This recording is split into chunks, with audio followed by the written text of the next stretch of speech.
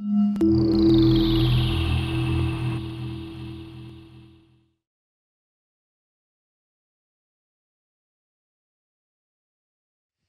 טוב לכולם, אנחנו שמחים לארח אתכם בקריה האקדמית אונו לפאנל שלדעתנו מאוד מאוד חשוב בנושא התחרותיות הבנקאית. אנחנו נתחיל בפאנל עם מספר אנשים מכובדים שתכף אני אציג אותם, אחר כך נמשיך להרצאה של שר האוצר שיגיע בעוד כשעה.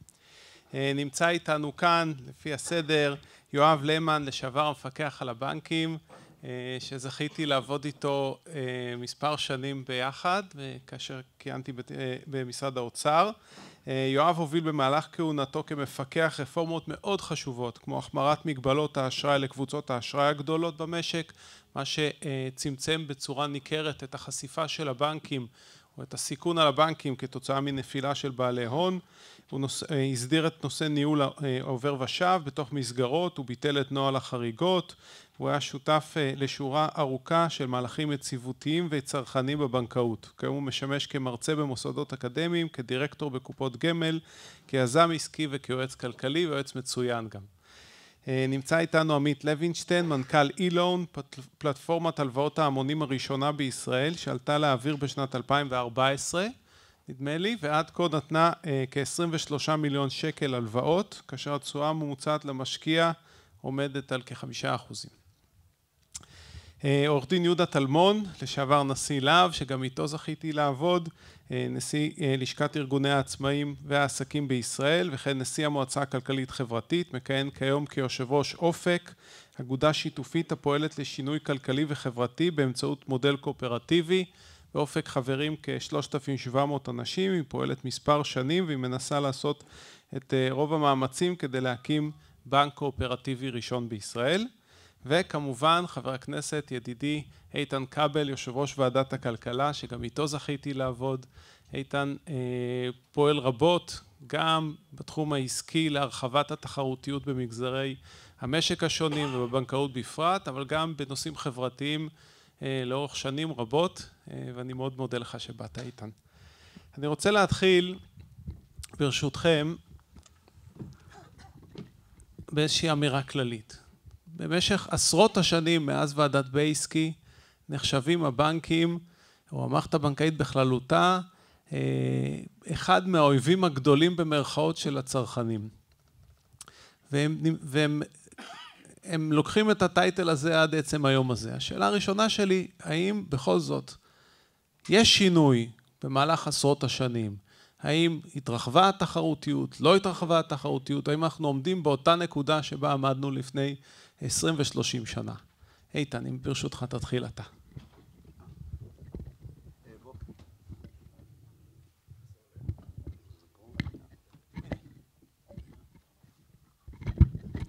בוקר טוב לכם, תודה, תודה לכם שהזמנתם אותי, תודה לך באמת ידידי וחברי ירון. תראו, אני אומר את זה בהמשך גם כן לדוח השנתי של חדווה בר שהניחה אותו בפני ועדת הכלכלה, אתה מכיר את זה? תראו, חל שיפור, זה לא דומה. שאף אחד כאן לא יתבלבל כי מי שעוסק בזה מקרוב ויש לי אינטראקציה מאוד מאוד גדולה כשמזכירים אצל הבנקים, הנה איתן כבל הגיש עוד הצעת חוק במערכת היחסים בינה לבין, בין הבנקים לבין הצרכנים, זה מה הוא עכשיו מתכוון לעשות. חל שיפור מאוד גדול. אבל הקטע המדהים, שגם אחרי השיפור המאוד גדול, אתה מבין עוד יותר עוד כמה יש ללכת. זה לא שהמערכת לא עשתה כלום, היא לא מפסיקה לעשות. ואם מסתכלים על הנתונים האובייקטיביים כפי שהגישה אותם והניחה אותם חדווה בר לאחרונה, אי אפשר להתעלם מהשינויים הגדולים, מהעמלות וכמעט בכל פרמטר אשר אנחנו נוגעים בו. ולמרות זאת, עדיין התחרות, אני אומר לכם באחריות מלאה, איננה אמיתית במובן הזה שאתה יודע שאתה יכול להגיד לבנק אתה לא רוצה ללכת איתי כמו שאני חושב שצריך שיהיה, אני אעבור לבנק אחר, זה לא קיים עדיין. עדיין לא קיים, זה אפילו עדיין רחוק מצד אחד. מצד שני, אה, אה, יש גם פעולות שהן אגרסיביות מדי, למשל, בימים אלה נראה שהבנקים עושים פעולה לכאורה, אתה יודע, הכי... הם עוברים לאט לאט מבנקים אה, שבהם אתה פוגש את ה... הפקיד שאתה מחכה לו והוא מחכה לך ואתה כבר מכיר אותו ואתה שואל מה שלום הילדים שלו ואתה מייצר איזה שיח. דרך אגב, בנק המזרחי לפחות עושה על זה עכשיו קמפיין שלם, אני מקווה שמאחורי הקמפיין יש גם כן איזו באמת עדיין אה, את מה שאנחנו מצפים אה, לפגוש, אבל אנחנו רואים מצב שבו אה, אין כמעט התחשבות באוכלוסיות שלמות, בעיקר של גמלאים, אנשים מבוגרים, שנעלם להם מן הפקיד שהוא יודע בכלל לעבוד מולו. חברים יקרים, אל יקל הדבר בעיניכם. נכון, יום אחד זה יגיע, אבל לא יכול להיות שבאזורים שלמים, אפרופו הבנק של אימא של שר האוצר, שבוקר אחד הודיעו שסגרו אותו. בשורה התחתונה, אם אני הולך איתכם לאורך כל הדרך, חל שיפור מאוד גדול. אין עדיין תחרותיות אמיתית, היא אפילו רחוקה מלהתקיים.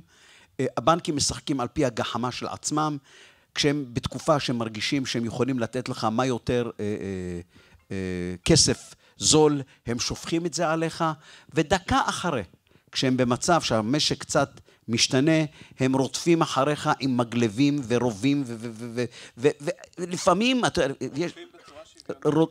לא, וזה המשפט הבא. זה המשפט... אני בדיוק רוצה לומר לך, זה המשפט הבא. והוא מקומם לעתים אף יותר.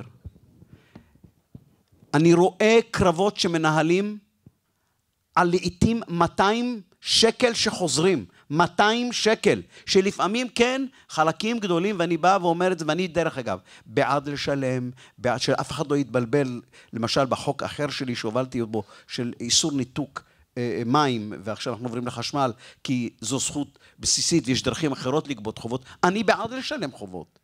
אבל אני רואה את האופן שבו מתנהלים אל הפישמנים ואל האחרים. הנה עכשיו למשל יש גם בענייני ביטוח, אפרופו, שרוצים... רגע, רגע, ביטוח אולי... לא, אני יודע, לא, אני רק אומר את זה, אפרופו, זה עובר ממקום למקום.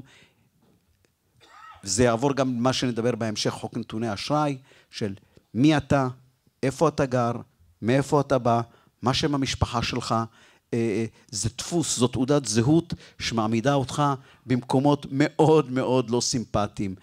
ועם החברות ביטוח עוד לא נגענו. תודה. תודה, איתן. יואב? אה, לפני עשר שנים ויותר, הייתה ועדת בכר, לא הזכרת את הדבר, כי אתה לא אוהב אותה. לא, זהו. אבל... אני הייתי חבר בוועדת בכר שעה. אחרי שעה התפטרתי, ופה רשום לי כשאני מציג את יואב, שהוא גם היה חבר ועדת בכר, אבל אני כל כך מעריך את יואב שמחקתי את הפרט המפליל הזה מהרזומה שלו. אז אני, אני לא מתבייש בוועדת בכר, נכון שאנחנו לא... אתה רצית שילכו יותר רחוק מבחינת, אה, מבחינת בעלויות, אבל אה, ועדת בכר בקונספט הפרידה את שוק ההון מהבנקים, והתקווה שלנו הייתה אה, ששוק ההון שזה החברות ביטוח וברוקרים אה, פרטיים וכולי, אלה, כמו מיטב דש היום או דברים כאלה, אלה השחקנים הכבדים שיכולים לתת פייט רציני לשחקנים המאוד כבדים דאז, הבנקים. בעוד שלפני הרפורמה כולם היו בתוך הבנקים. התקווה שלי באופן אישי היה גם אפילו שהם אה, אה, ינפיקו כרטיסי אשראי ללקוחות שלהם, שהם יתחרו באשראי הקמעונאי כשיש להם את הביטחונות של אה, החיסכון הפנסיוני וכן הלאה. לקח עשר שנים וזה לא קרה וזה אכזב אותי. אני כבר חשבתי על כל מיני אפשרויות לקנוניה שהם מפחדים לריב איתם כי הם המשווקים הפנסיונים שלהם או משהו אבל עכשיו זה לא, קורה. לא, מכיוון שחוסר התחרותיות בביטוח לא, לא. הוא עוד יותר גרוע מהבנקים. לא, לא. דחפתם את כל הפנסיה עדיין, של לא, לא. ישראל לא. למקום עוד פחות תחרותי. זה לא נכון. אתה רואה, אתה רואה עכשיו שבהתחלה למשל עלו מאוד דמי הניהול, אחר כך הם ירדו. לקח עשר שנים, ואני אומר שהיום השינוי הוא אדיר. דרך אגב, בתחום, בתחום, זה... לא- אמרת ועדת בכר, אז לא, לא, בתחום, ה... בת... אני רוצה לשים את ה... מ... מ... ברמה הכללית. בתחום של האשראי העסקי, המשקיעים המוסדיים לסוגיהם נכנסו בכל הכוח והם למעשה הורידו את הבנקים מרמה של 80 ומשהו אחוז מהשוק, הורידו אותם ל-50 אחוז מהשוק. זה, זה מהפכה, ושם באמת יש תחרות. מה שמאכזב היה בתחום הקמעונאי של משקי הבית, עסקים זעירים, קטנים ובינוניים, ששם הבנקים לא זזו, לא נתנו, וכוחם אפילו עלה ל-95 אחוז. היום אנחנו רואים פה שינוי שמה שהיה עד עכשיו, עד החודשים האחרונים, זה עוד כלום לעומת מה שנראה לי שיהיה בשנה הבאה. אבל יואב, יש איזשהו עסק קטן ש... או צרכן שזה רלוונטי? כן, לכולם. כי מה שקורה היום, גם כתוצאה מהמשבר, של 2008 ואחר כך, והרגולציה שבאה בעקבותיו, זה שיש העדפה בדרישות יחסי ההון מהבנקים אה, לטובת הקטנים יחסית, ולכן הבנקים יצאו בסכומים משמעותיים בסדרי גודל. זה לא כמו, ה... ושוב, תכף אני אתייחס ל-P2P, אבל הבנק, מדובר פה על מיליארדים. ויחד עם אה, צעדים שעשתה המדינה בקרנות מיוחדות לטובת עסקים קטנים ובינוניים. מדובר פה על הרבה מאוד מיליארדים, רק לפני יומיים קראתי שגם בנק הפועלים משיק שני מיליארד שהתמנפו לשישה מיליארד, בנק לאומי עשה את זה עוד קודם, הקרנות של המדינה עושות את אותו דבר באותם היקפים, באותם סדרי גודל, אנחנו מדברים על שינוי עצום. עכשיו משקי בית אה, קטנים בדרך כלל, חוץ מהמודרים ואלה שמוכתמים מלכתחילה, היום כבר די מתחרים עליהם. השכירים וכולי. למי אין פתרון? אין פתרון לאותם אלה שהוחתמו בהחזרות וכולי, אלה שהם חלשים מבחינה סוציו-אקונומית, אלה שעמותות, עסקים זעירים, קטנים וכולי, אלה עדיין לא מקבלים פתרון ולא מקבלים תשובה. אני רוצה לנצל, אני חייב לתת אה, אה, גילוי נאות, אה, כמו ידידיי מימין, אני עכשיו מייעץ לסוכנות היהודית שרוצה להקים פלטפורמה חברתית שתקשר את העם היהודי בתפוצות לסיוע לאותן אוכלוסיות חלשות של אה, מודרים, עסקים קטנים, עמותות, חל"צים, עסקים אה, חברתיים ויחד עם כריות פילנטרופיות של הגנה אה, בעצם באמצעות פלטפורמה כזו תקשר את העם היהודי לפריפריה החברתית והכלכלית בישראל ומהבחינה הזו אה, בעיניי אלה דברים, שוב, שבשוליים שבשוליים, אבל אלה דברים שיכולים לעזור. לתמונה הכללית, אמרתי, אנחנו נמצאים במהפכה, בתוך מהפכה, כי סוף סוף המוסדיים נכנסים בכל הכוח לתחום הזה של אשראי קמעונאי, אה, אה, אשראי לעסקים קטנים ובינוניים. אם עכשיו גם יעשו את ההפרדה של חברות כרטיסי אשראי, יש סיכוי עוד יותר גדול שהתחרות על הפלח שהיה הכי בבעיה של תחרות עד היום בכל השנים שהיו עד עכשיו אה, תשתפר מאוד. יואב לגבי העסק, יואב ויהודה, לגבי העסק הגדול זה בוודאי אה, יש שינוי והתחרותיות אה, גדלה אבל לגבי עסקים קטנים וצרכנים אני נזכר מהתיאורים של השינויים הגדולים שתיארת כאן בדברים של תומאסו דילמדוזו שאמר פעם everything needs to change.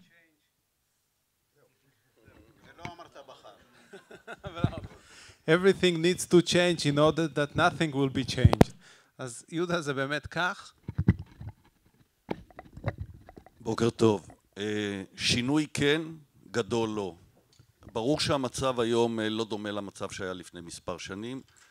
ברור שגם הבנקים הבינו שעסקים קטנים ומשקי בית זה נכס ולא נטל.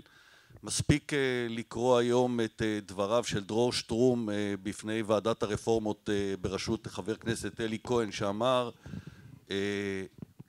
הבנקים אולי מתחילים להבין שהנכס הגדול ביותר שלהם שזה עסקים קטנים ומשקי בית הם מקבלים את התנאים הגרועים ביותר וזאת עובדה חברים זאת עובדה ולמה אני אומר שהשינוי לא גדול? כי הבעיה העיקרית שאנחנו מזהים אותה היא בעיית האשראי ובנושא האשראי בואו נדבר על המרווחים בואו נדבר על כל אחד ואחד מכם שאם יש לו פיקדון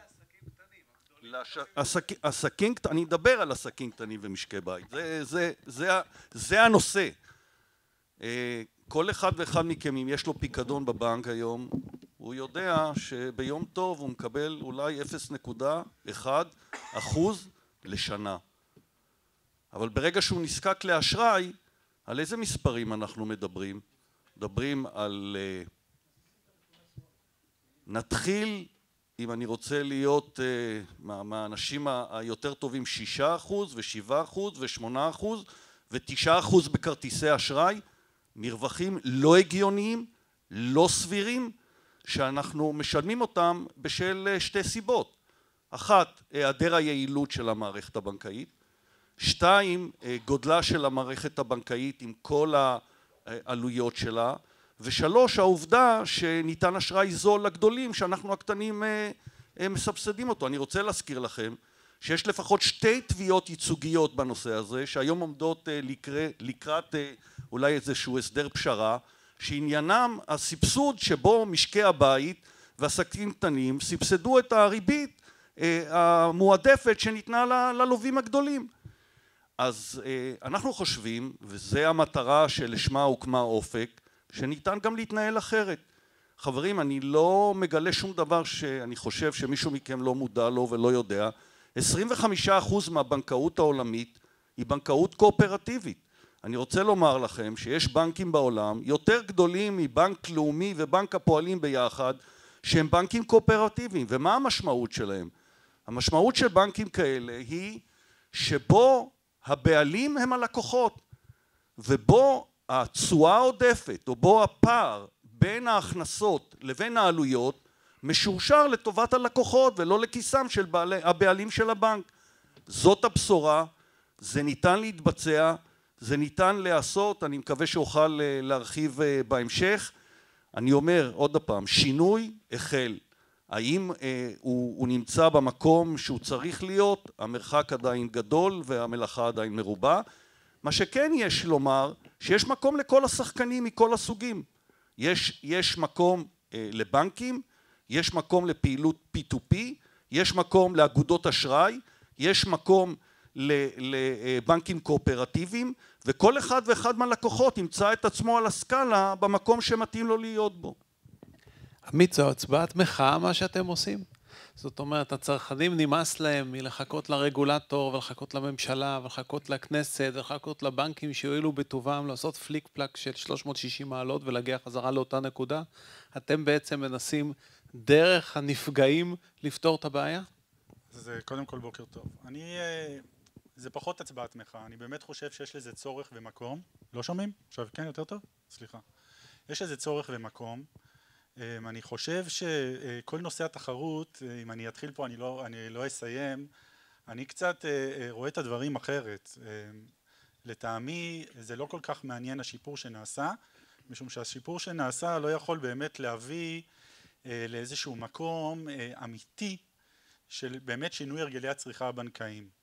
אמ, איכשהו מדובר בשני דברים, אתה יודע מה? שלושה דברים עיקריים מבחינתי. העניין של המחיר, שדובר פה באמת על הפער בין הפיקדון להלוואה, אבל שני דברים נוספים שלא נגעו בהם. זה הנושא של השקיפות, כל המסמכים שאתה חותם עם האותיות הקטנות, שכל הצרכנים באים ולא מבינים על מה הם חותמים, והדבר האחרון זה העניין של החתונה הקתולית. היום אתה לקוח של בנק X, אתה רוצה לקחת אשראי בבנק Y, בוא תצטרף, תעביר את המשכורת, תשלם עמלות נלוות, עמלות ניהול, אין, אתה לא יכול לקנות את המוצר עצמו. ו, אה, אה, ולכן אני חושב, ועם זה אני לא מסכים עם אה, חבר הכנסת כבל, הקונספציה של תחרות היא לא תחרות בתוך הבנקים. אתם תראו מחקרים שנעשו בכל העולם, תחרות בין הבנקים, אם תשאל את בנק לאומי ובנק הפועלים הם יגידו לך שיש תחרות אדירה ביניהם. הם יגידו מה, אתה איזה מתחרה על השכר של המנכ"ל. יכול להיות שגם על זה. מתחרים מאוד. יכול להיות שגם על זה, אבל בסופו של דבר שינויים מתרחשים כשמכניסים באופן מאורגן ואולי אפילו באופן טיפה אגרסיבי ובוטה שחקנים חדשים למערכת.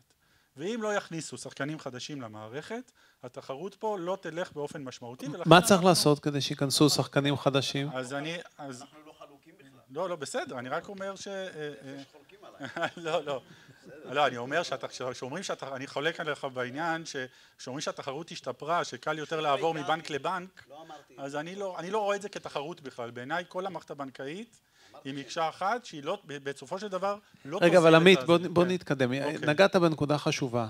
בכל ענף, כדי שהתחרות תגבר, צריכים אה, שחקנים חדשים להיכנס. מה מונע משחקנים חדשים להיכנס? אז בוא נראה, אה, למשל בוא ניקח גוף מוסדי. גוף מוסדי, נכון שיצא עכשיו טיוטה של אה, משרד האוצר, אבל גוף מוסדי עד לפני אה, לא מזמן, וגם כן זה לא כל כך השתנה, על מנת אה, להשקיע במוצרים לא שכירים, הוא יכול לעשות את זה עד שלושה אחוז מהנכסים שלו, זה צריך שזה יהיה לזה בטוחה מספקת ודירוג של מעלות או דבר מסוים. זאת אומרת, גוף מוסדי שרוצה להיכנס היום לאשראי צרכני, לא יכול לעשות את זה בהרבה בנכסים שלו, וגם הוא צריך לעבור כזאת ויה דולורוזה משפטית כדי לקחת את הנכסים של העמיתים שלו, להגיע לסוג של אסט קלאס בהשקעה שכולם רוצים להיות שם. אני לא ראיתי אף פעם בנק מוכר את תיק האשראי הצרכני שלו, ראיתי אותו מוכר את תיק האשראי העסקי שלו. מה עוד שגם הרגולטור היום, אה, בגלל שהאשראי הצרכני נחשב וכל כך אה, אה, בטוח ואטרקטיבי, נותן אה, הנחות בהון לבנקאים שנותנים אותו. וצריך לעודד אה, למשל אה, להגיד שאשראי צרכני מפוזר דרך פלטפורמות מסוימות שתיקבע דרך אגב, ייקבעו קריטריונים איפה אפשר להשקיע, כן? אז בטוחה מספקת זה פיזור מסוים. אומר, במילים אחרות אתה אומר שהנחיות הפיקוח לבנקים מצד אחד והנחיות הפיקוח לביטוח מצד שני יוצרות, יוצרים אפליה בין אשראי צרכני לאשראי עסקי? אה, לא, אני חושב שדווקא החוק היום במדינת ישראל, במשרד האוצר, שלא נותן אה, לגופים מוסדיים להיכנס לאשראי בצורה קלה, חוקי הריבית של אשראי חוץ בנקאי, שהיום אה, בנקים יכולים לתת בסביבות 20-21 אחוז וגופים חוץ בנקאיים יכולים לתת עד 7.5 אחוז. זה שבנקים היום לא חייבים, עוד פעם עד לא מזמן, זה טיפה טיפה באמת משתפר, אני מסכים, אבל שבנקים היום אה, לא חייבים לתת את העלות האפקטיבית במונחי ריבית של האשראי, כולל כל העמלות הנלוות, ואז באמת הצרכן לא יכול לעשות השוואה אמיתית. כל הדברים האלה צריכים להיפסק, צריך להיות כלל אחד לכולם, שיחליטו שהריבית המקסימלית היא לכולם, ש- שיעשו איזה שהם אה, אה, תקנות או איזה שהם אה, מנגנוני בקרה ועל מנת שהפלטפורמות יהיו בטוחות, בזה אנחנו אה, מאוד מסכימים, שאיזשהו רגולטור ייקח תחת חסותו את הדבר החדש הזה שנקרא אה, פלטפורמות להלוואות, בין אם זה הפלטפורמה שיואב למן מעורב בה, ואם זה הפלטפורמה שאני מעורב בה, ואני רואה גם כמה קולגות בקהל, אבל יש המון דרך כדי ליצור סביבה רגולטורית, שאתה עושה פה איזושהי אה, אה, אה, תחרות אמיתית, וכמובן בנושא שיתוף המידע. תאר לעצמך שאתה היום אה, הולך לרופא, ואתה רוצה second opinion והרופא יגיד לך שלי. זה, המידע הוא שלי. אני רוצה היום לקחת אשראי ממישהו אחר ולתת לו את המידע שלי, תאפשר לי לעשות את זה. יואב, מה שעמית מתאר פה זה איזשהו קונפליקט בין ההנחיות של המפקח על הביטוח לבין ההנחיות של המפקח על חושב- הבנקים. אני חושב ש- האם יש מקום במדינת ישראל להפרדה בין שני מפקחים? א', אני, עכשיו יהיה שלישי. ועדת בריס מדברת על, אשרא, על מפקח שלישי, על האשראי החוץ-בנקאי וה, והחוץ-מוסדי. אז מהבחינה הזו יש לך עוד הפרדה, והם, והם מנסים לגבש את הקונספט של הפיקוח הזה. אני מצטרף לדבריו אה, ומחזק אותם, במובן הזה שצריך להיות גילוי נאות אה, ללווים ולמלווים, אה, גם בפלטפורמות וגם בכל דבר אחר, ועד היום דווקא בבנקים עוד יחסית אה, מגלים את הריבית והריבית האפקטיבית טוב יותר. אני חייב לומר בצער שהפלטפורמות אה, הפועלות היום לא מגלות אשראי אפקטיבי ללקוחות, אצל אה, רובן יש למשל לדוגמה עמלה מהלווה עצרו אותי. עמלה מהלווה אה, שמנוקה מראש אה, במצגים, באתרים, לא נותנים לזה גילוי. מבחינה זו, מה המשמעות של העמלה הזו על הריבית האפקטיבית, מגלים את הריבית המתואמת במונחים הבנקאיים, לא את הריבית האפקטיבית. הרגולטור החדש יצטרך לעשות סדר בעניין הזה, ואני חושב שזה מאוד חשוב. אה, נושא נוסף שהולך להפיל או שיקשה מאוד על הנושא דווקא לעסקים קטנים, חל"צים, עמותות, וכל גוף שהתאגד, אפילו אם זה שרית הספרית שבמקרה נרשמה כחברה ולא כעוסקת מורשית, אסור לה בעצם לגייס אשראי ב-P2P. ומהבחינה הזו היא ישר מחייבת בעצם במיני תשקיף. הרשות לניירות ערך הוציאה תקנות על הפנים, במובן הזה שזה מיני תשקיף, ועסק זעיר לא מסוגל לעמוד בזה, ולכן הפלטפורמות, אם הן נותנות את זה, ואפילו ייראה, כי נניח נותנות את זה לבעלים של העסק הזעיר, אבל הוא יודע שהוא עושה את זה בשביל לפתח את העסק שלו, הוא כבר עלול, הפלטפורמה כבר עלולה להסתבך עם רשות ניירות ערך.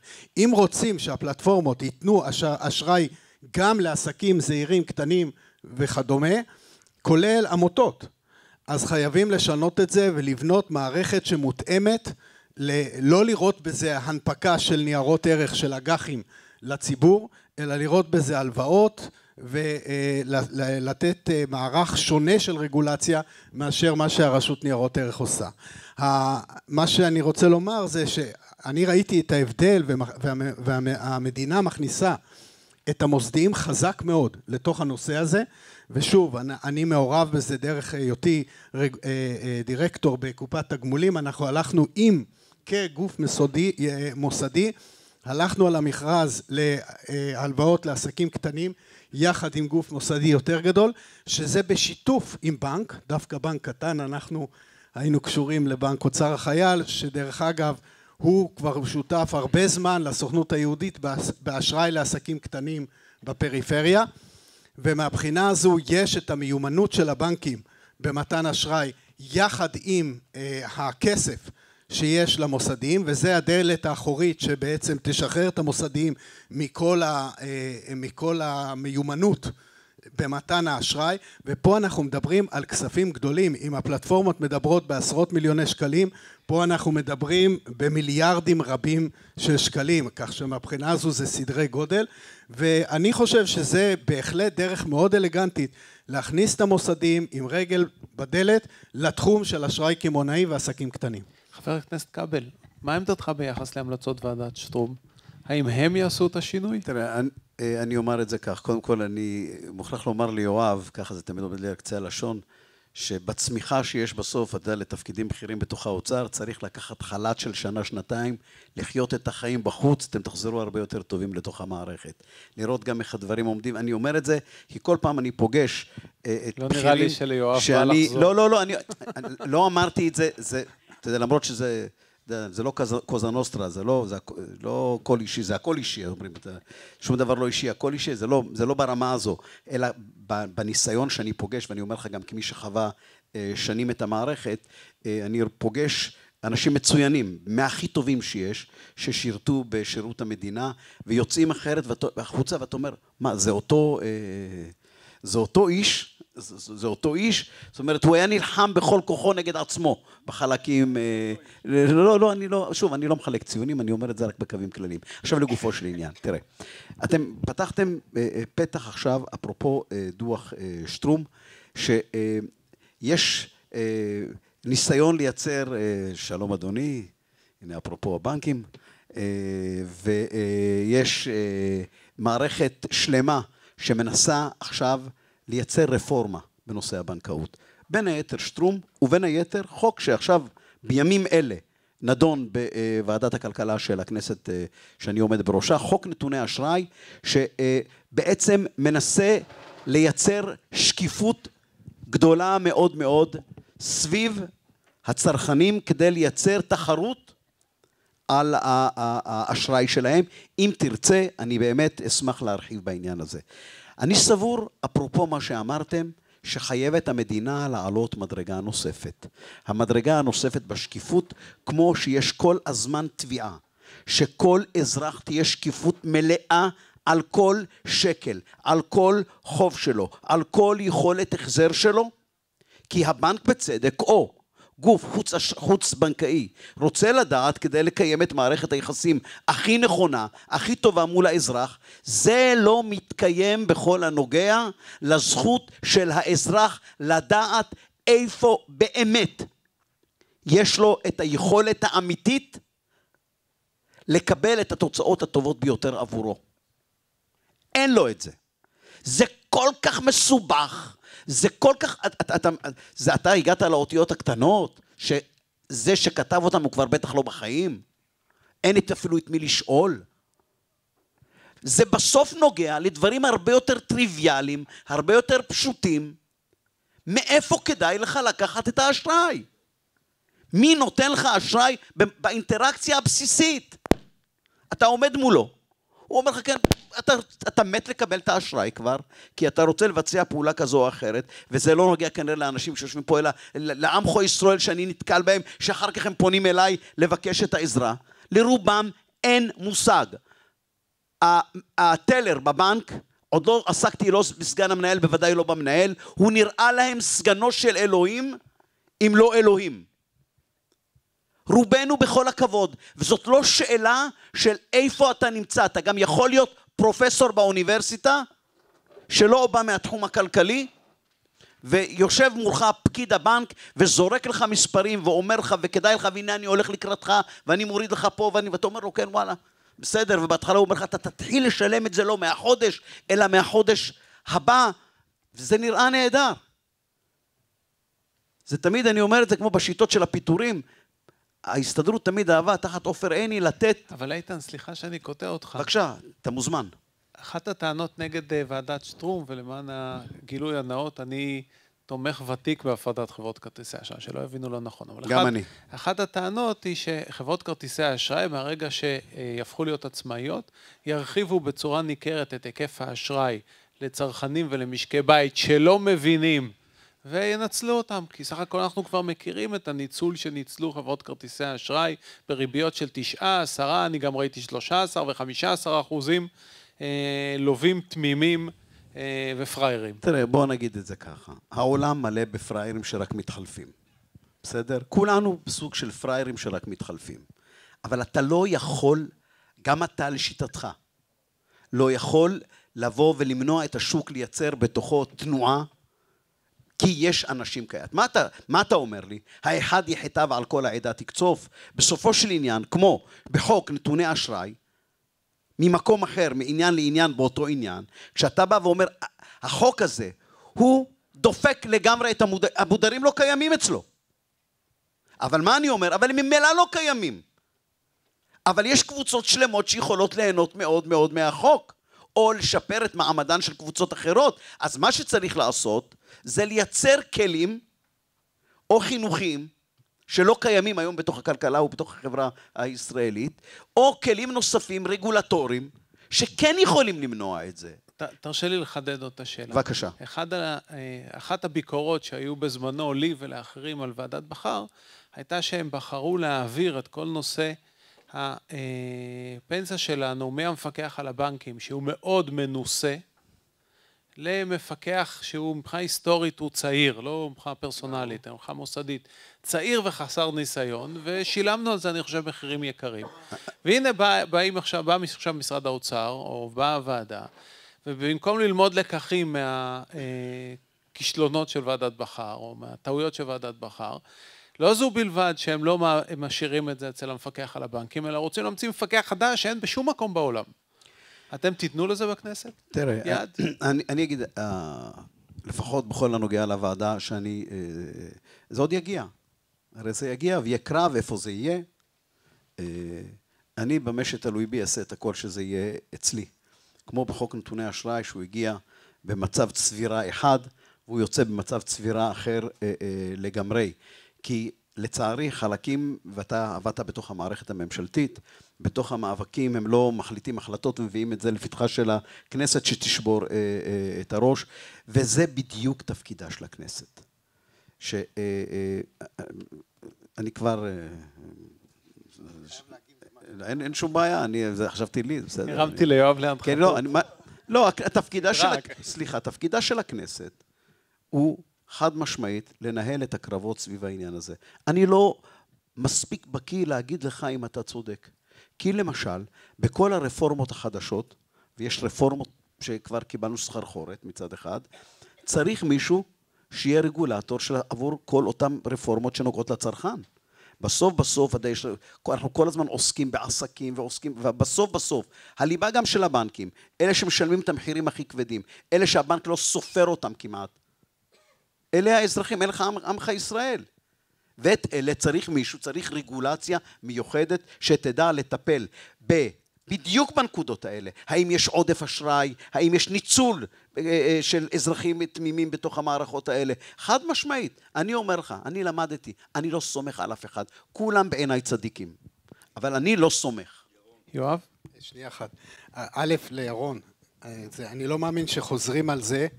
הגופים המוסדיים, שוק ההון, מעולם לא פוקחו על ידי הפיקוח על הבנקים, גם כשהם היו כפופים לפיק, לבנקים. זאת אומרת שהם היו חברות בנות של הבנקים, הם פוקחו על ידי הממונה על שוק ההון. הסגן שלי, ממונה על הביקורת, פעם אחת רצה להיכנס לביקורת בקופות גמל של אחד הבנקים. אה, אני קצת התפלאתי, אבל הוא ניסה, הבנק אמר, שימו לב חבר'ה, הרגולטור שלנו, ואנחנו לא נכנסנו בסוף, זה הממונה על שוק ההון, כי הוא אה, היה אחראי תמיד עליהם, זה לא היה, זה, זה פשוט אמונה תפלה שחשבו שאנחנו פיקחנו. אני רוצה לומר שהדברים האלה הם מאוד מאוד רלוונטיים. האשראי הצרכני בתוך הבנקים, היום אמרתי, הוא 95 אחוז, האשראי הצרכני למשקי הבית גדל משנות האלפיים ועד היום בערך בקצב גידול התל"ג. זאת אומרת שאנחנו לא החרפנו את מצב האנשים הפרטיים באשראי צרכני אה, בנטל עודף. האשראי הצרכני בישראל נמוך ביחס למערב. הוא, הוא נמוך ביחס למערב. נמוך. נכון, נשארתם לא אותו השארתם, נמוך. אבל הוא נשאר נמוך. נשאר שוב, אה, כאשר האשראי, אני דיברתי על המרכיב של האשראי הלא משכנתאות. מרכיב המשכנתאות צמח בצורה מפחידה בשנים האחרונות, והיום הוא עלה הרבה יותר מהתל"ג, הרבה יותר מהשכר, ולכן במונחים של כושר החזר זה בהחלט משהו מאיים. מי פה לא מקבל את הפיתויים ואת ההזמנות, בוא תיקח הלוואות בכל, בכל תנאים, לשכירים וכולי וכולי. למה שאמרת לגבי חינוך פיננסי, זה חיוני, כיוון שבהחלט לא הייתי רוצה שהרצון הזה להגביר את התחרות יגרום לעם ישראל להפוך לצרכני אשראי אובססיביים למטרות צריכה, בזבוזים, נסיעות לחוץ לארץ, אה, בר מצוות וכאלה, אלא למטרות השקעה ולכן היעד צריך להיות יותר העסקים הקטנים והזעירים וכולי, ולא ולשאלתי על המפקח החדש?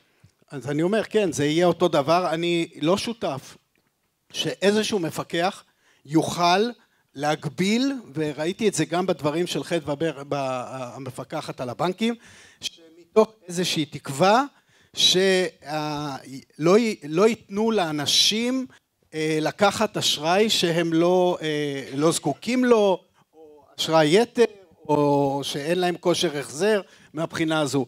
העסקים וכל אלה שייתנו את האשראי ייתנו את זה מתוך ראייה של הכדאיות של עצמם ואין סיכוי שמפקח כלשהו יצליח אה, אה, לעצור את העם מלקחת דברים שהוא רוצה. צריך לחנך את העם שלא יכול, ייקח דברים שגויים. אבל מפקח נחוש יכול לוודא שהקצאת האשראי נעשית על פי סטנדרטים סבירים של בטוחות. אני, אני חולק עליך. אני חושב, ש, אני חושב שאף אחד לא יכול להצליח אה, להגיד לגופים המפוקחים למי לתת אשראי, אולי למי לא לתת אשראי. אבל למי לתת אשראי זה לא... אז זה אני לא מחדד, בעיניך זה לא משנה אם זה יהיה המפקח על הבנקים או המפקח חדש? בהיבט הזה של לתת אשראי רק למי שראוי לו, או למי שהצרכים שלו הם נכונים, אני חושב שאף מפקח לא יצליח. צריך למנוע או להקשות על הפיתויים, להקשות על, ה- על המצגי שווא ומצגים לא טובים, לעזור לציבור להיות יותר סלקטיביים. תראו, השוק האפור למשל, היום מציעים לך, קח עשרת אלפים שקל, תחזיר לנו אלף מאתיים שקל או יותר, אלף חמש מאות שקל בעשרה תשלומים והבן אדם חושב שהוא נותן איזה עשרים אחוז ריבית כאשר הוא מדבר, אנחנו מדברים על ריבית אפקטיבית של חמישים ומאה ומאה וחמישים וכמו שאתה אומר אנשים לא מבינים שהם משלמים ריביות מטורפות. את זה חוק הריבית אמור לחתוך והמש... ואת המתחת למקסימום של חוק הריבית שיהיה גם גבוה, עשרים ומשהו אחוז אני מניח, מתחת לזה צריך לחנך את הציבור להבין כמה הוא משלם ועל מה. וזה היום מאוד חסר, אני רואה את זה גם באקדמיה, כשאני את הסטודנטים מלמד, זה מבהיל כמה אין להם מושג מה זה ריבית, מה זה ריבית אפקטיבית, איך מחשבים אותה, ואני מדבר על סטודנטים לכלכלה ומנהל עסקים. ירון, אני רוצה לחזור לשאל, לשאלתך המקורית. אה, תנאי סף מכבידים והיעדר אה, הגנות ינוקה הם בעצם החסם העיקרי לכניסתם של שחקנים חדשים. אה, באנגליה, מדינה מאוד שמרנית, בא שר אוצר, ג'ורג' אוסברן, ב-2013, שינה את כללי המשחק. בתוך שנתיים נוספו 13 שחקנים חדשים. קמו 13 בנקים חדשים בתוך שנתיים. מטרו, סימפל, אחרים, אה, זה שם המשחק. צריך לשנות את הכללים. באנגליה, שהיא מדינה, אני חוזר ואומר, מאוד שמרנית, ושתנאי הסף לכניסה של שחקן חדש עמדו על אה, מיליוני לירות סטרלינג, הפחית שר האוצר את התנאים וקבע שבמיליון לירות סטרלינג, הון עצמי, אפשר להקים בנק. כאמור, 13 בנקים חדשים. אה, חלקם היום עם מאות אלפי לקוחות. אה, כשהיום אנחנו אה, פנינו אה, למפקח על הבנקים ודרשנו קביעת תנאי סף, תנאי הסף הועמדו על 75 מיליון ש"ח הון עצמי. ב-75 מיליון הון עצמי בלבד, עוד לפני עלויות הקמה, לא יהיו שחקנים חדשים ולכן כשאיתרנו את הכשל הזה והכשל הזה אני מקווה שדרך אגב חלק מהמלצות ועדת שטרום מופנות המפקחת שהתחייבה תוך אה, שישה חודשים לקבוע כללים חדשים ולקבוע מדרג של כניסה לשחקנים חדשים. אנחנו הבנו שצריך לפעול אה, בדרך אחרת ולכן אה, הדרך שאנחנו מצאנו אותה כנכונה וראויה ואני חוזר ואומר כפתרון לבעיה העיקרית שאנחנו מזהים אותה כבעיית אשראי הוא מיזם של הלוואות עמיתים, P2P חברתי מקום שאתה אה, אה, מפגיש בזירה אחת אנשים שיש להם כסף שכרגע שוכב, אני חוזר ואני אומר, באפס ריבית בבנק, ומצד שני לווים טובים, טובים מאוד, שמעולם לא היו בדיפולט ומשלמים ריבית בלתי הגיונית. אנחנו אה, בפעילות שתעלה לאוויר בתוך שלושה ארבעה חודשים מציעים זירה שבו אה, על הכסף שלך תוכל לקבל אה, סביבת ריבית של שלושה אחוז, שזה דרמטי לעומת מה שאתה מקבל היום בבנק, וכלווה אתה תשלם סביבת ריבית של שלושה וחצי אחוז.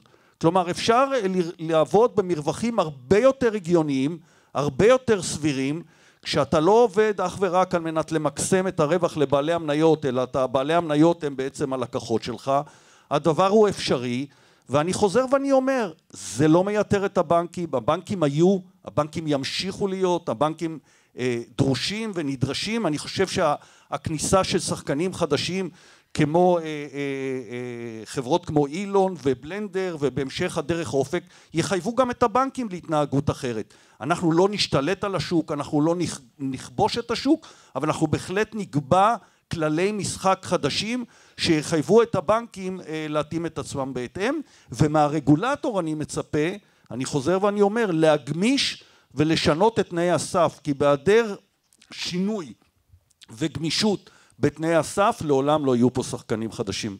עמית, המערכות האלה בעצם מעבירות את הסיכון מרמת המוסד שנותן את האשראי לרמת הלקוח הפרטי. הלקוח הפרטי, א', האם הוא מסוגל לקלקל את הסיכון, אם הוא לא מסוגל להבין את הריבית שהוא משלם, איך הוא מסוגל יהיה להבין את הסיכון שהוא לוקח, זו שאלה ראשונה, ושאלה שנייה, האם יש... המשקיע משקיע, כן? אמרת, הם הבעלים בעצם. והדבר השני, אמרת, נדמה לי, דיברנו על 23 מיליון שקלים שכבר אה, אה, נתתם אשראי, מה שיעור הדיפולטים, אם אתה יכול לספר לנו, לשתף אותנו? אז כמובן, אנחנו אה, מספרים הכל, וגם אפשר באתר. קודם כל, על מנת למנוע את... למזער את עניין הסיכון, אנחנו מכריחים לפיזור סיכונים. אני אתן לך דוגמה שכולם מכירים. ב-2008 היה משבר אה, פיננסי של טריליון דולר, בגדול.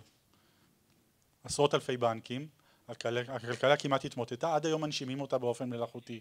אם תיקח ב-2001 היה משבר נסדק פי עשר יותר גדול, אבל במקום שהוא יהיה על עשרת אלפים איש, על עשרת אלפים בנקים, סליחה, הוא התפלג על שלושה מיליארד איש בקרנות הפנסיה שלהם, בחיסכון, אף אחד לא הדפיס כסף, אף אחד זה, כל אחד ספג את המכה הקטנה שלו, אבל העולם המשיך להתקיים. וזו בדיוק המתודולוגיה של אילון בהשקעה, אתה, אתה מוגבל, אתה לא יכול לתת יותר מאלף שקל לבן אדם, גם אם אתה רוצה לתת לו עשרים אלף שקל אתה לא תוכל, אנחנו מעודדים אנשים לתת סכומים קטנים, ואז כל אחד בעצם מקבל הלוואה של עשרים אלף שקל ממאתיים איש שנתנו לו מאה שקל. עכשיו אם לי יש תיק של חמישים אלף שקל באילון, נתתי אותו לחמש מאות לווים, אז נכון, אז שיעור הדיפולט, כולל פיגורים, דרך אגב ללא הכרית הנחה שהבנקים לוקחים, אמיתית, היום הוא שתיים ורבע אחוז בפלטפורמה, שהוא כמו המערכת הבנקאית פחות או יותר אחרי הכרית שהם לוקחים, אז אם אתה היום נתת 500 אלף הלוואות, אז אתה מוגן, הפיזור מגן עליך. בסופו של דבר זה מה שגם הבנקים עושים ולכן הם מקבלים הקלות בהון. במקום לתת אשראי אחד גדול בריבית נמוכה לגוף אחד, הם נותנים מלא פעמים 50-60 אלף שקל, שזה כמו עשרה שקלים לאזרח הפרטי, וככה הם מוגנים מהפיזור. אבל הם יודעים לבדוק את זה, לפחות. אז גם אנחנו טוענים שאנחנו יודעים לבדוק את זה. זאת אומרת, אתם בודקים את המלווים את הלווים. את הלווים, כן. סליחה, את הלווים לפני, לפני ביצוע ההלוואה? ודאי, ודאי. לפני שהם נרשמים? אנחנו גם בודקים ואנחנו גם מאמתים, גם על ידי מקורות מידע פנימיים וגם על ידי מקורות מידע חיצוניים, וכמו שנאמר קודם, אני, אני מחלק את זה לשתי אוכלוסיות, יש את האוכלוסייה באמת, כמו שקראתם להם המודרים, שיש להם בעיה לקחת אשראי, שהם פחות ימצאו פתרון בפלטפורמות קיימות כרגע, גם אבל גם אצלנו, אבל אה, בהחלט צריך להחזיר ואני חושב שכל אחד מהיושבים פה רוצה כשהוא נותן הלוואה למישהו הוא מצפה לקבל בחזרה לפי תנאי העסקה אה, ולכן אנחנו בהחלט בהחלט בודקים ובודקים את יכולת ההחזר ובודקים את זה אה, בצורה מאוד מאוד מעמיקה אנחנו משתמשים באמצעים טכנולוגיים, זה לוקח לנו דקות, אבל אנחנו, אה, ואנחנו היום באמצעים טכנולוגיים מתגברים על פערי המידע שהחוק היום לא מאפשר לך לקבל. נכון, יכול מאוד לשפר, אבל זה ייקח זמן, זה ייקח עוד שנתיים שלוש עד שהכל... אתה יכול אה, קצת לספר מה ההלוואה הממוצעת, מה כן, משך ההלוואה הממוצעת? משך ההלוואה הממוצעת... אנחנו, מה? שאתם נותנים דירוג ומתמחרים בהתאם לסיכון. נכון. אז יש לנו היום אה, היום ניתן לקבל אשראי צרכני אה, בפלטפורמה עד 50 אלף שקלים לתקופה של עד חמש שנים כשההחזרים הם חודשיים. יש היום 25 אה, דירוגי אשראי באתר שכל אחד מקבל את הדירוג אשראי שלו לפי באמת רמת הסיכון שהפלטפורמה אה, חושבת וממליצה. כשכמובן אם יש כשל של אשראי אז בעצם הפלטפורמה על חשבונה מנסה לגבות את החוב עוד פעם באמצעים חוקיים, עורכי דין אה, ומה שקיים היום במשק. אה, אז היום ההלוואה הממוצעת היא סביב בין ה-20 ל-25 אלף שקלים לתקופה ממוצעת של עד שלוש שנים זאת אומרת משך חיים ממוצע של הלוואה זה שנה וחצי אצלנו כי ההחזרים הם חודשיים אה, והמערכת היא מאוד... נתתם אלף הלוואות בעצם. אלף שלוש מאות, כן. אלף שלוש מאות כן. הלוואות. אלף שלוש מאות. מתוך כמה, כמה מלווים? אמ, יש אה, קרוב לאלפיים מלווים בפלטפורמה ואתה יכול מאוד לראות, עכשיו אנחנו גם דרך אגב אומרים אל תשים את כל החסכונות שלך באילון חס וחלילה, יותר מזה, החסם כניסה הוא כל כך נמוך, אנחנו אומרים 100 שקל תנסה, קח אלף שקל, תפזר בעשר הלוואות, תראה שזה עובד, תגדיל. אנחנו, אה, אה, אה, לא, אין פה איזשהו סכום מינימום, אתה לא תהיה חשוף בסכום מאוד גדול ללווה בודד, כל הנושא הזה של הפיזור ומה הריבית הממוצעת? היום הריביות הממוצעות אה, אה, ללווה אה, באילון הם בין חמישה לשמונה אחוזים אפקטיבית, אפקטיבית, כולל העמלה של אילון, כולל העמלה של אילון. היום המקסימלי היא בריבית של 12.95 כי זה צמוד מדד ושם אנחנו יכולים להגיע. זה קיים... ונטו למלווה? ונטו למלווה אנחנו חמישה, כמו שאמרנו, חמישה נקודה שלושה אחוזים, זה הממוצע היום אה, אה, אה, באתר. צריך לזכור, וזה מאוד חשוב, וזה דרך אגב מתקשר למה שאמרת על ועדת שטרום, היום כולל המינוסים, שזאת ההלוואה הכי יקרה בבנקים, שהיום הריבית הממוצעת על המינוס היא 14 אחוז, עשיתי תרגיל לאחד העובדים הבכירים שלי שעובד איתנו שנה, אמרתי לו, אתה יודע מה, תבדוק. והוא נדהם לגלות, הוא עובד באילון, הוא מכיר את, ה, הוא מכיר את התעשייה, שהמסגרת של הריבית על המינוס אצלו היא 14 אחוז, היום הממוצע, היום הממוצע, זה מה שאנחנו, כן, אה, היום הממוצע אה, אה, הוא כולל כל הדברים הנלווים, הוא מעל 8 אחוז, חברות כרטיסי אשראי מעל 10 אחוז, אנחנו משתדלים להוריד את זה ולהתחרות בזה. אני רק חייב לומר שכשאמרנו ועדת שטרום אנחנו תומכים בהפרדת כרטיסי אשראי מהבנקים, זה דבר שייקח זמן. היום מעמד הביניים הצליח להבין ששירותים בנקאיים זה חלק מסל הצריכה שלו. צריך להוזיל את זה כמה שיותר מהר ועכשיו צריך לעשות קוויק ווינס ולכן אם ניקח היום אשראי לעסקים קטנים ובינוניים שעומד על מעל 300 מיליארד שקלים ואשראי לעסקים לצרכני סליחה שעומד היום כמעט על 130 מיליארד שקלים בשנה לא כולל משכנתאות אנחנו נגיע היום לשוק שכמעט מגלגל 500 מיליארד שקלים בשנה אם אנחנו באמצעות תחרות נצליח להוריד את זה באחוז אחד בשנה הציבור יחסוך חמישה מיליארד שקלים בשנה זה המון כסף לא לא לא 500 מיליארד זה הקרן של ההלוואות, לא הריבית. נכון, אם אתה תוריד את הריבית באחוז, אתה תחסוך חמישה מיליארד שקלים בשנה. אה, את הריבית באחוז. נכון, אם אתה תוריד את הריבית באחוז, אתה תחסוך חמישה מיליארד שקלים בשנה, זה המון כסף, אפשר לעשות את זה מחר בבוקר. רק לאפשר את התחרות הזאתי, ופתאום אתה תראה את הריביות, ראינו את זה בתעשיות אחרות, ואתה תראה את זה יורד. יש פה קוויק ווין אמיתי. יואב, לא התייחסת לנושא של הנפקת כרטיסי אשראי על ידי הבנקים, אחרי שיפרידו אותם. מה, מה המסקנות שלך בעניין? אני, אני, שוב, אני חושב, אני חושש מאוד מהמהלך, בוא נגיד, אני לא יודע איך הם יעשו את זה, אבל צריך ללמוד מהלקח שהיה לנו בהפרדת אה, הקופות גמל וקרנות הנאמנות, כי באמת בפאזה הראשונה המחירים לא ירדו ואפילו עלו, כי מי שקנה, ואני לא רואה שיקחו להם את זה, אני מניח שיכריחו אותם למכור את זה, והם ימכרו את זה בתמורה אה, גבוהה, אה, לפי הרווחיות העבר, שזה פרה חולבת, אז זה יעלה הרבה כסף למי שיקנה, ומי שיקנה ירצה תשואה על הכסף הזה, ולכן יש חשש אמיתי שבעשר שנים הראשונות, אחרי הביצוע, זה עוד לא יהיה אפקטיבי. לכן אני חושב שלא צריך לתת להם להנפיק, אה, אם רוצים לקצר את הזמן הזה, אני חושב ש... לא צריך לתת לבנקים להנפיק? כן, כיוון שאחרת, אחרת באמת הם יעבירו... ומה לגבי הקמת חברות סליקה חדשות? אה, זה נושא אחר וזה לא קשור לנושא האשראי. אני בעד ואני חושב שהטכנולוגיות היום יכולות, מאפשרות לעשות את זה בעלויות זולות אה, יחסית, אבל שוב, זה נושא אחר. אני רוצה לחזור לכרטיסי אשראי, זה נושא מאוד מרכזי. אני חושב ששם יש פוטנציאל גדול, ואם הגופים המוסדיים וגופים אחרים ינפיקו כרטיסי אשראי ויקחו סיכוני אשראי במיליונים, אה, זה, גם זה יכול להיות רכיב מאוד חזק בהגברת התחרות. ולכן מהבחינה הזו, אם אתה משלב את כל הצעדים, והם צעדים שהם לא, לא שוליים. לא, לא, לא בטוח שהבנתי. יכול להיות שהקהל הבין, אני לא הבנתי. אני אומר שאם גופים נוספים... שתי שאלות, אני מחדד. רגע, רגע, רגע, רגע, עזוב גופים נוספים, חיכינו להם עשר שנים, עזוב, לא נחכה עוד עשר, אבל אני רוצה להבין דבר, שני, שני דברים ספציפיים. אחד לגבי הקמת חברות סליקה חדשות. חברות סליקה, לא הנפקה. למה זה קשור לאשראי? אני שואל לגבי הבנקים, האם הבנקים, לשיטתך, כדאי שיקימו חברות סליקה חדשות? הבנקים? לא, כל הרעיון, לבנקים יש חברות סליקה, חברת סליקה.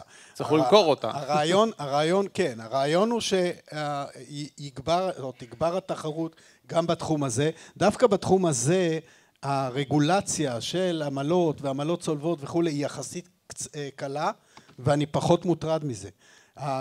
באינטראקציה, ושוב, אני מאוד, אני, הנושא של סליקה, אני בעל עניין בגלל הפלטפורמה וכולי, חד משמעית זה, זה נושא חשוב, זה נושא רלוונטי, אבל אנחנו מדברים בשוליים של אה, המאות מיליארדים כשאנחנו מדברים על אשראי. ובתחום הזה, אם אתה מכניס שחקנים חזקים, ואני, אה, שוב, אני בדקתי קצת עם אופק, להכניס בנק חדש, עזוב רגולציה, הרגולציה אפילו תגיד מה שאתה רוצה, להכניס אותו לפעילות ולתחרות בתחום המערכת הישראלית עולה עשרות ומאות אה, מיליונים רק בשביל לשרוד את השנתיים שלוש הראשונות. זאת אומרת זה לא קל אה, להיכנס להקים בנק. ודאי לא אם אתה רוצה לעשות אה, סניפים ודברים כאלה נוכחות שטח. אם אתה רוצה בנק אינטרנטי קצר וקטן וכולי זה קל. פלטפורמות זה עוד יותר קל במובן הזה שבאמת יש כמו שאמרת את הסיכון מוטל על הלקוח ולא צריך לרתק הון בשביל אה, ספיגת הפסדים.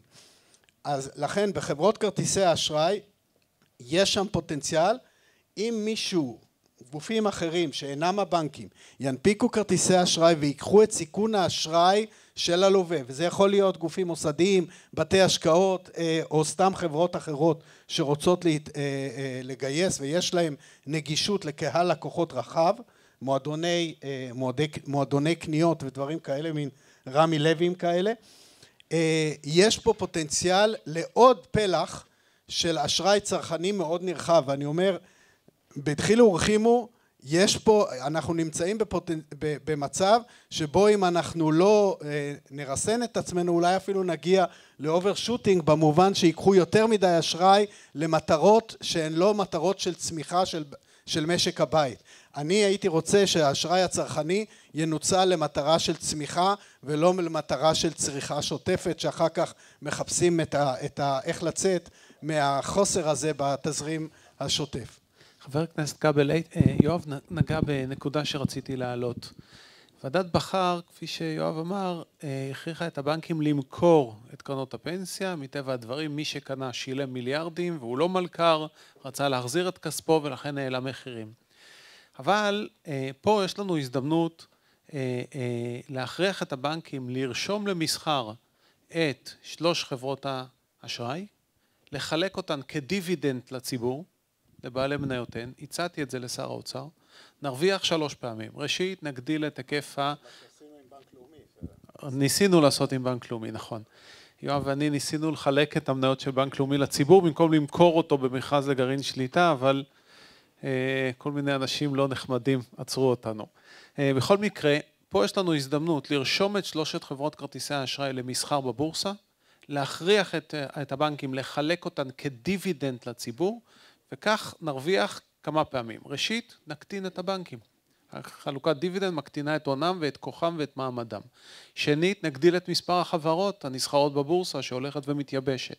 שלישית, לא צריך אה, להגדיל את הריכוזיות פעם נוספת, הרי מה, מה זאת אומרת שחברות כרטיסי מכרו? זאת אומרת שבעלי הון יקנו אותם, עד שקטן... כל כך מהר. בסדר, אז המפקח ייתן להם ארכה. בכל מקרה, אה, מצידי שלא יחלקו דיבידנד חמש שנים אחר. אה, דבר נוסף, אנחנו נקטין את הריכוזיות. זאת אומרת, נעביר את שלוש חברות כרטיסי אשראי לסיטואציה שבה אין גרעין שליטה גם בהם והן נסחרות על ידי הציבור, כמו רוב המוסדות הפיננסיים הגדולים בעולם. דבר רביעי, נקרב אותם לשוק ההון ולמקורות גיוס אשראי, כך שהם בעצמם, יהיה להם מקורות למזומנים לתת הרבה הלוואות.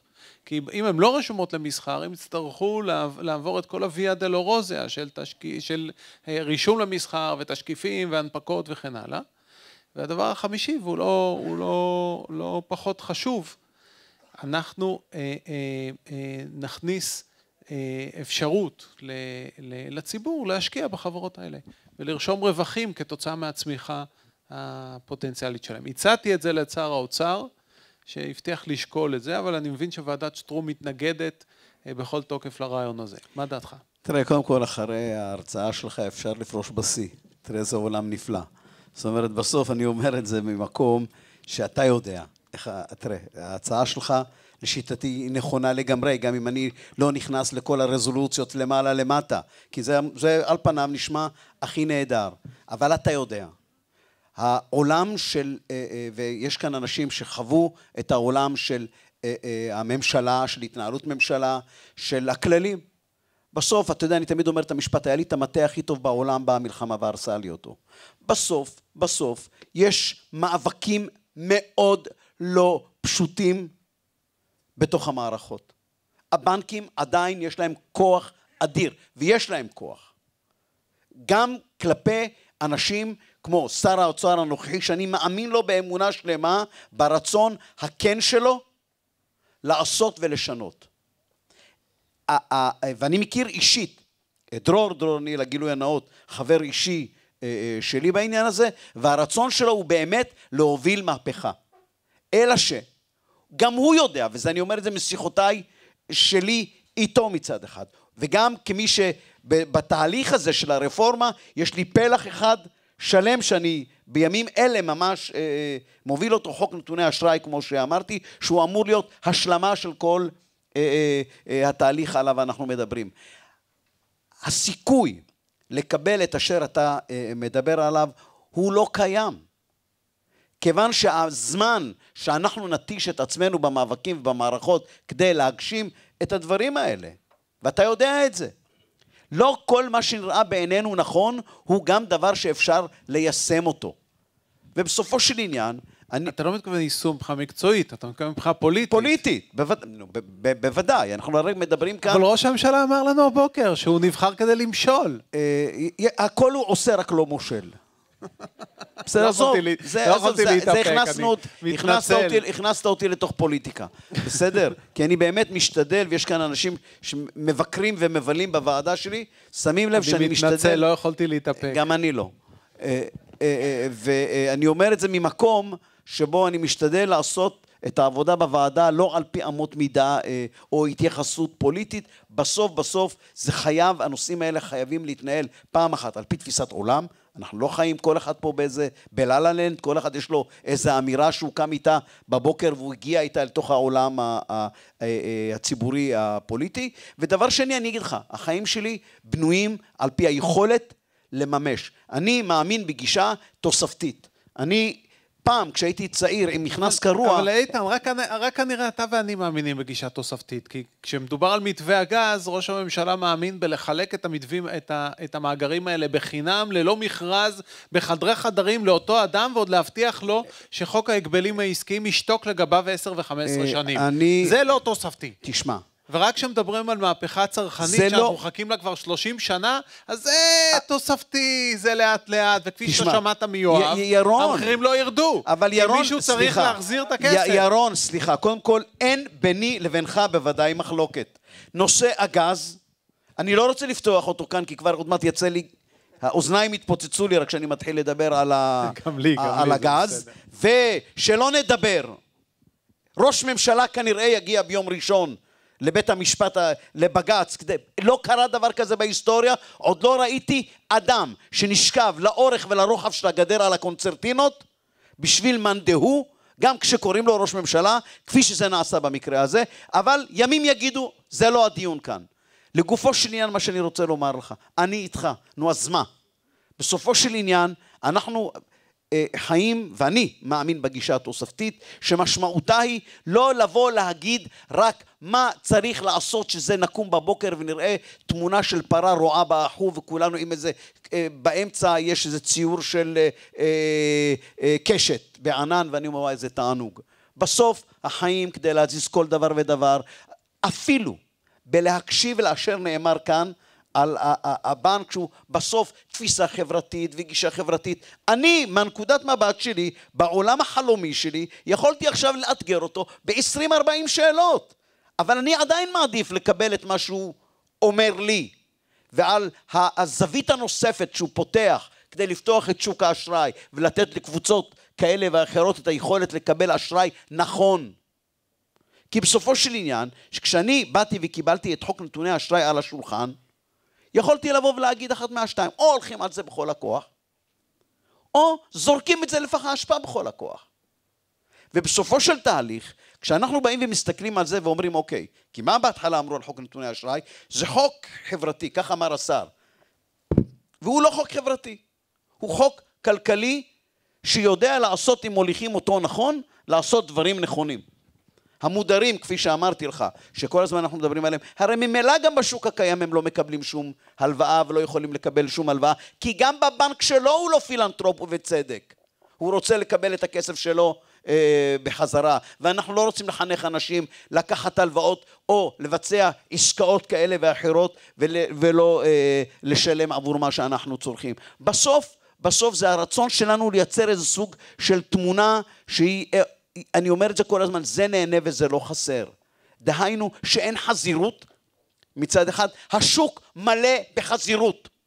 אני אומר את זה בצורה שאיננה משתמעת לשתי פנים. אין כמעט דבר.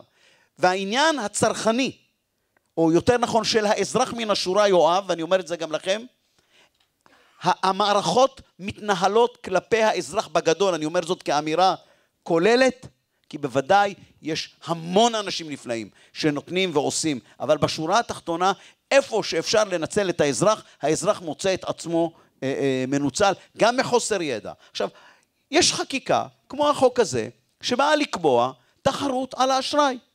דרך אגב, כמו שאמרה הנגידה, אני רוצה שנבין גם כן, אנחנו עושים את כל השינויים האלה, ואף אחד מאיתנו, בכל הכבוד, לא בטוח שבסופו של עניין זה באמת ייצר תחרות אמיתית.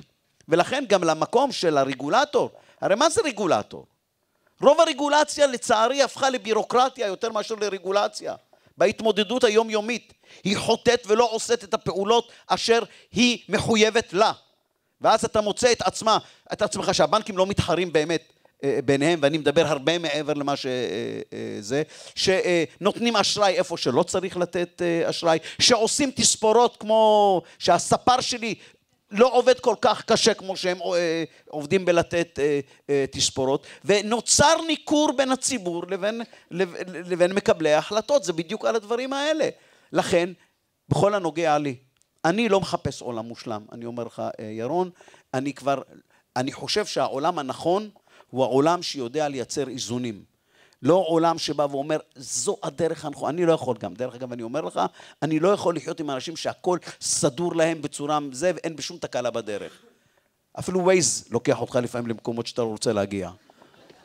לכן מה שאני מנסה אה, אה, לומר לכם בשורה התחתונה, שאם אה, אה, אני, כי אני אוטוטו אה, צריך אה, ללכת לעולם שלי, חוק נתוני אשראי, להגיד לך את הדבר הבא. אני חולק בכל הכבוד, יש מהפכה גדולה שעוברת בבנקאות.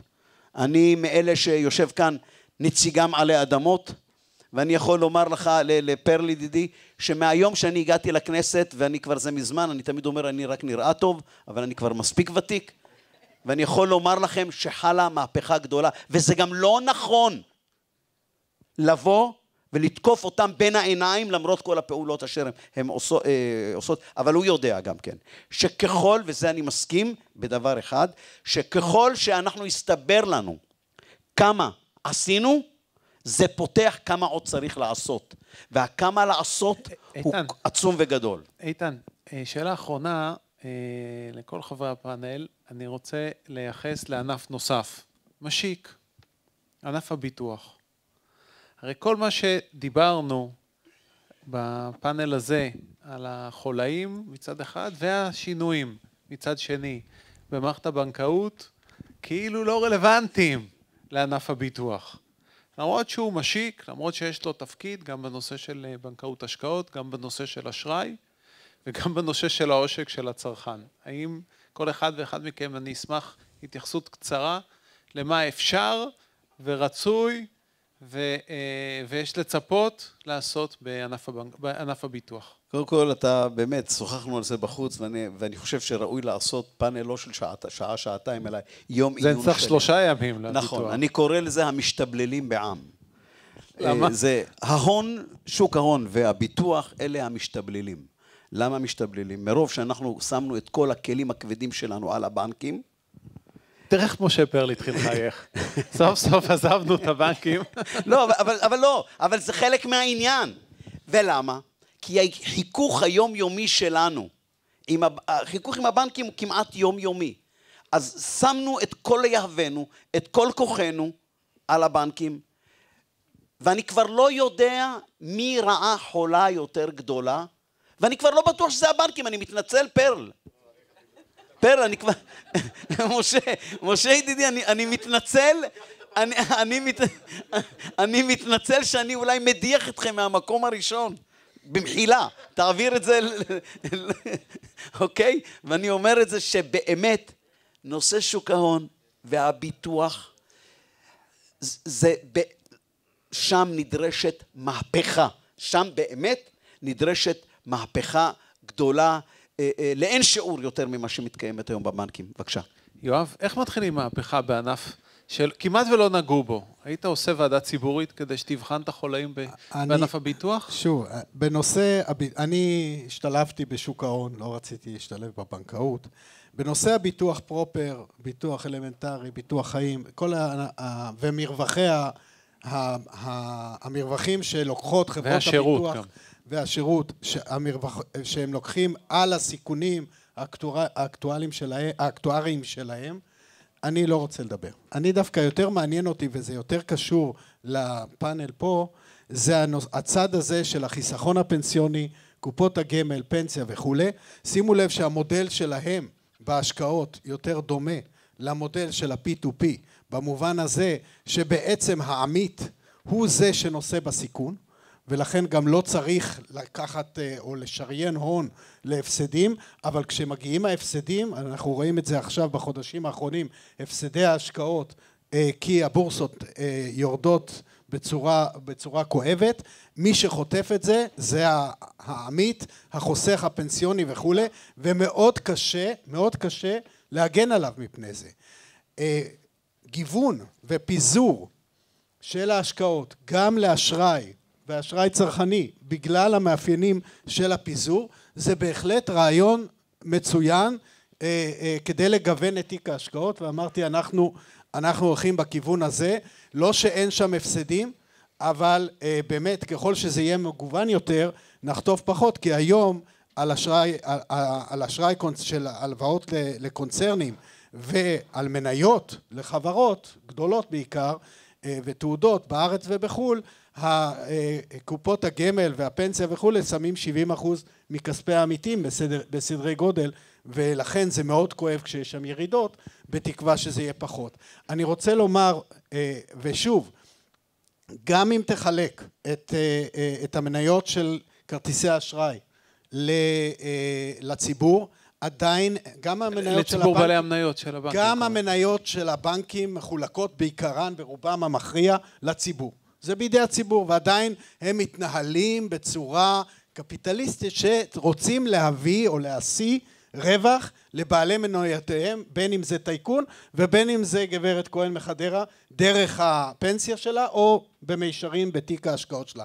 לכן הראייה של השאת רווח תהיה קיימת גם אם תחלק את זה ומהבחינה הזו גם שמה לא בטוח שאתה תראה את החמלה אה, לאדם הקטן ודאי למודרים ולעסקים החברתיים ולפריפריה הכלכלית והחברתית ולכן אני שוב בא ואומר היום יש תחום שהולך ומתפתח בעולם מתחת לרדאר וזה תחום ההשקעות החברתיות שבו בעצם המשקיע וזה יכול להיות משקיע אה, צעיר לאו דווקא מיליונר ש...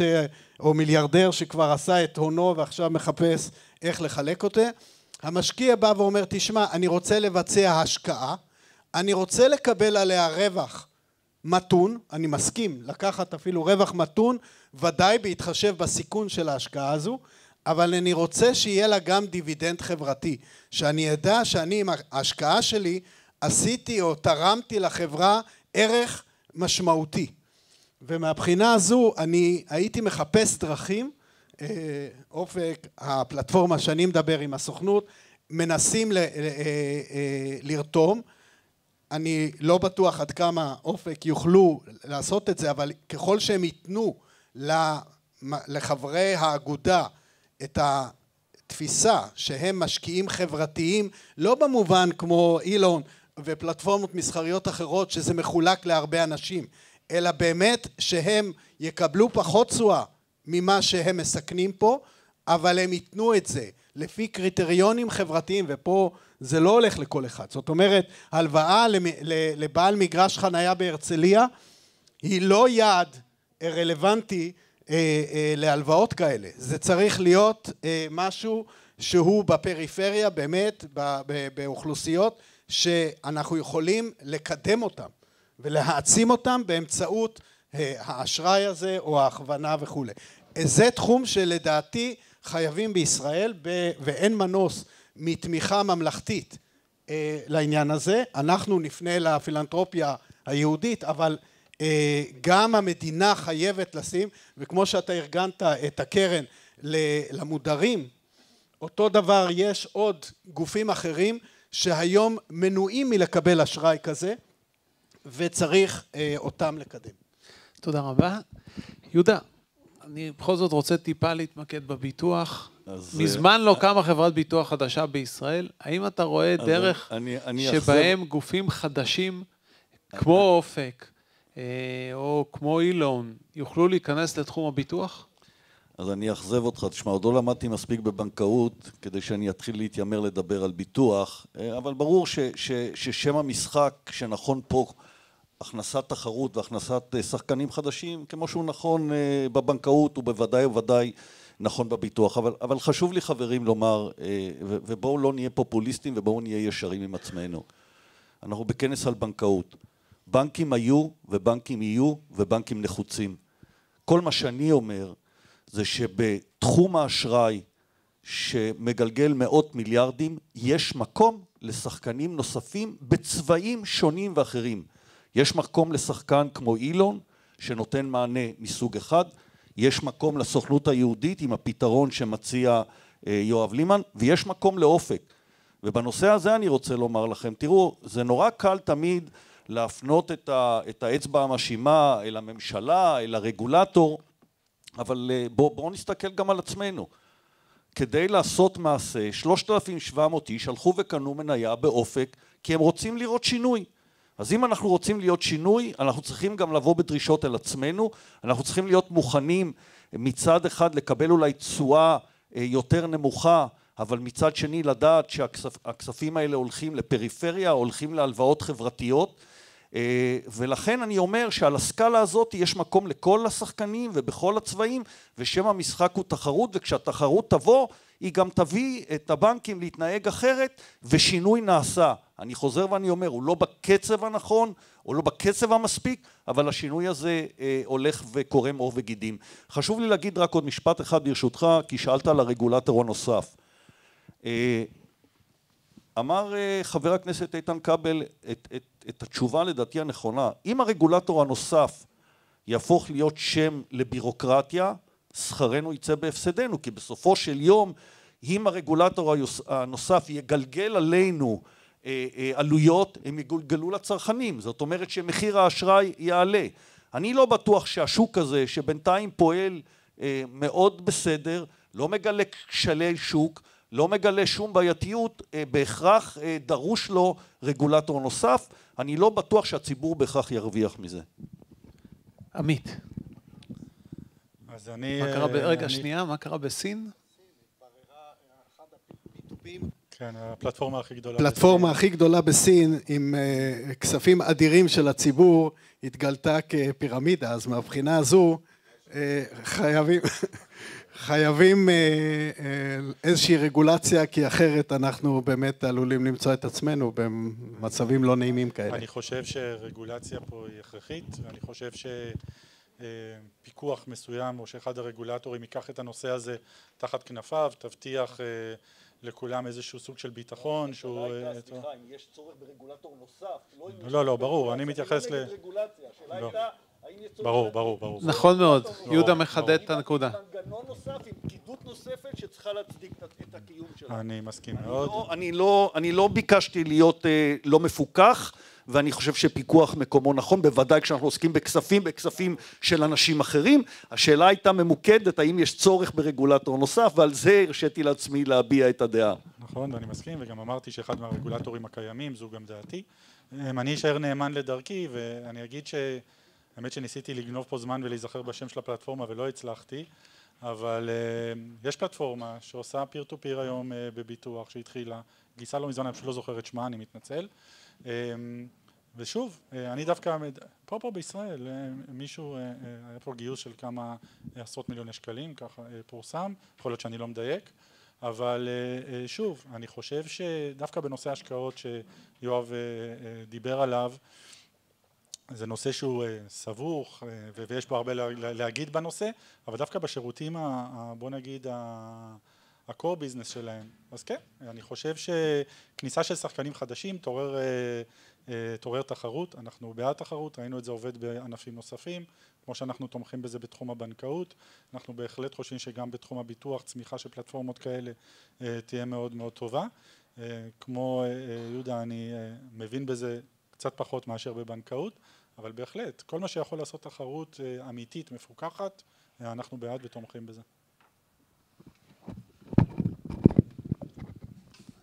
אוקיי, okay, ונשאר לנו עוד ממש כמה דקות ספורות, אז ברשותכם ממש בקצרה, דקה או שתיים לשאלה האחרונה. האי שוויון במדינה עלה בעשורים האחרונים בצורה ניכרת, בשנים האחרונות ממש הוא ב steady state, אבל ב steady state גבוה. האם אתם מאמינים שהרפורמות בבנקאות ייתנו תרומה להקטנת האי שוויון, או שאת הפתרון לכך אנחנו צריכים לחפש במקומות אחרים? וואו, אפשר יום עיון חדש? באמת, זאת שזה, זה, אני רק אסיים, אני כבר מתנצל מראש, אני חייב אה, לרוץ ברשותכם, אז קודם כל תודה. אה, תראו, לצערי, האי שוויון הולך וגדל. זאת אומרת, אני בא גם, אה, שוחחנו קודם, יצא לי הזכות לחצות את החברה הישראלית מלהיות בתוך, לגור בראש העין של שנות ה-60 ולחיות בתוך עולם של הישיבות וקיבוץ וצבא, ממש. ובכל המקומות האלה, גם בימים הקשים שגרתי בראש העין, וההורים שלי, ברוך השם, תמיד היו בסדר, אה, אבל אני ראיתי את הסביבה שחייתי בה, גם אז התחושה שלי לא הייתה שקשה כמו היום.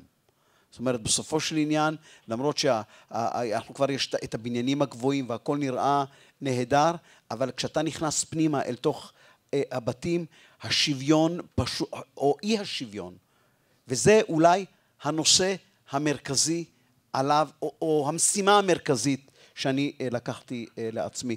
לנסות ולשבור את, את, את, את המערכת הזו, שקבוצה קטנה, שהולכת ונהיית עוד יותר קטנה, ודרך אגב זה גם מהלך עולמי, אוקיי? ויש מי שאומר כשההתפתחות תהיה עוד יותר גדולה מאשר היום, אז זה בכלל יהיה עוד יותר גדול מזה.